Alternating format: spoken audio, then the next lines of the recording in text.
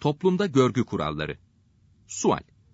Toplum yaşayışında görgü kuralı olarak nelere dikkat etmeliyiz? Cevap. Müslüman, edepli, görgülü, nazik, kibar, güler yüzlü olmalı, efendim demeden konuşmamalıdır. Edep, güzel terbiye, iyi davranış, güzel ahlak, haya, nezaket, zarafet demektir. Edep, hiçbir hırsızın çalamadığı güzel bir zinettir. Edep, insanla hayvanı ayıran farktır. Hazreti Ömer, edep ilimden önce gelir buyurdu. İbni Mübarek Hazretleri ise, her ilmi bilen bir alimin edebinde noksanlık varsa, onunla görüşmemek kayıp sayılmaz. Fakat edepli biriyle görüşemezsem, üzülürüm buyurdu. Edepli kimselerin görgülerinden bazıları şöyledir. Sokakta Sokağa tükürmek, çöp atmak, geliş geçişe mani olmak, tiksindirici çirkin şeyler bırakmak, görgüsüzlüktür. İhtiyar, kadın ve hastalara her zaman öncelik verilir. İhtiyaçları varsa yardımcı olunur. Yürürken, pek yavaş veya pek hızlı ve büyüklenerek yürümemelidir. Kur'an-ı Kerim'de mealen, böbürlenerek yürüme buyuruldu. Yolda büyük bir zat veya bir alimle beraber giden kimse, onun önünden ve solundan değil, sağından yürür. Taşıma araçlarında, inip binerken itişmek, sıra olan yerlerde sırasını beklememek çirkin davranıştır. Gençler, yaşlılara ve hastalara yer verir. Peygamber Efendimiz, büyüklerini saymayan bizden değildir buyuruyor. Günümüzde bazı gençler, yer vermemek için uyur numarası yapıyor, Walkman dinliyor. Ecdada layık torunlar olmaya çalışmalıyız. Alışverişte, izin almadan satıcının malına dokunulmaz. Malın görünüşünü, kalitesini bozacak şekilde ellenilmez ve bakılmaz.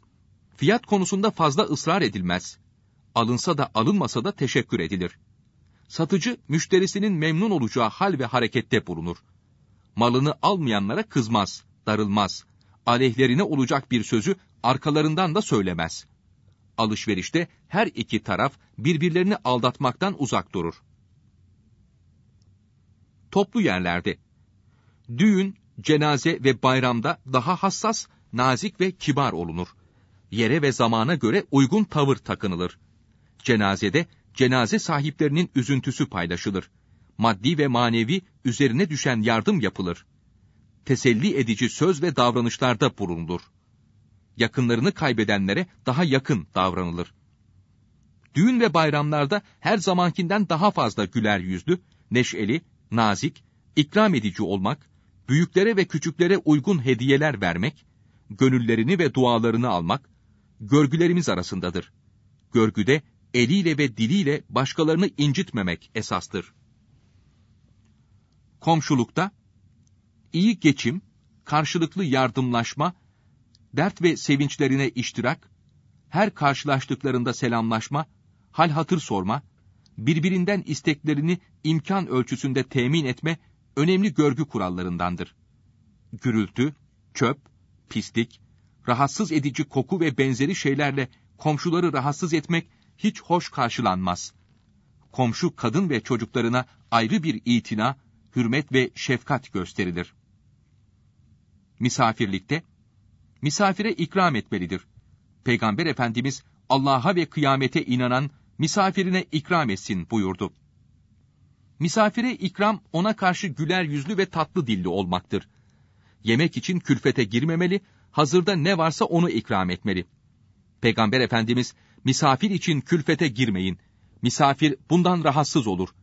Misafirini üzen Allahü Teala'yı üzmüş olur buyurdu. Hazreti Ali, dostların kötüsü senin için külfete giren, seni özür dilemeye mecbur bırakandır buyuruyor. Misafirden hizmet beklememeli. Peygamber Efendimiz misafirden hizmet beklemek aklın noksanlığına alamettir buyurdu. Bir arkadaş anlattı. Bir haftadır evimizde misafir kalan samimi arkadaşıma bizim hanım bir iş için dışarı çıkmıştı. Ben namaz kılana kadar sizin hanım sofrayı hazırlarsa çok makbule geçer dedim. Daha sonra bu sözüme çok gücendiklerini öğrendim. Bu acı tecrübe misafirden hizmet beklemenin doğru olmadığını göstermektedir.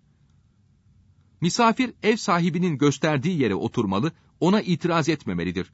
Peygamber Efendimiz bir arkadaşın yanına gidince oradan ayrılana kadar o arkadaş senin emirindir buyurmaktadır.